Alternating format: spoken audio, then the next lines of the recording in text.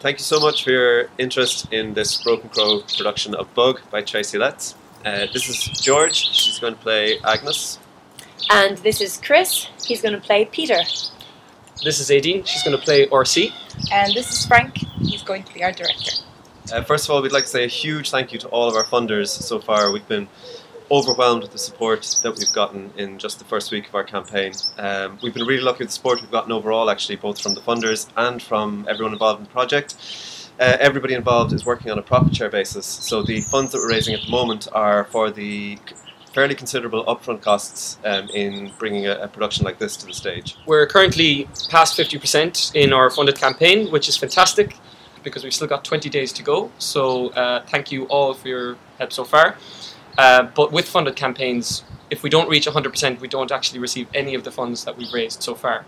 So any continued uh, support of the contributions would be much appreciated. However small or large the figure you can give, we'd really love to have it.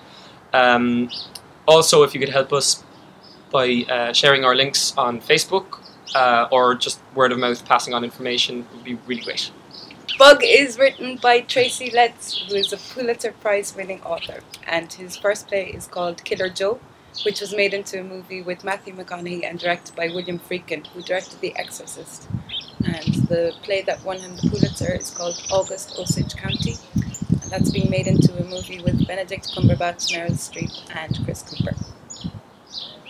Um, Bug centres around two characters, uh, Agnes and Peter. Um, they're both, I suppose, vulnerable, vulnerable people, um, and they kind of find a love um, with, for and, and, with each other. Um, it's a psychological thriller um, fueled by drugs and alcohol abuse, uh, paranoia, and there is uh, an infestation of bugs that they have to combat also. But uh, yeah, it's good. It's humorous. Uh, John Whitty, who plays Doctor Sweet in the production, um, myself and John actually went to see Killer Joe, and uh, I noticed at the end of the credits that it was based on a play by Tracy Letts, who I hadn't heard of before.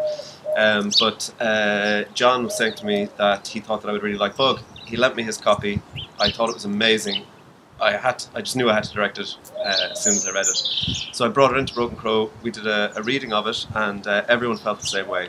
Um, so here we are, uh, with your help, putting on a production of Bug by Tracy Letts in the Half Moon in May. So thank you so much for any support you can give us, and thank you to all of our funders so far. Thank you very much. Thank, Thank you. you. Thank you. Cheers.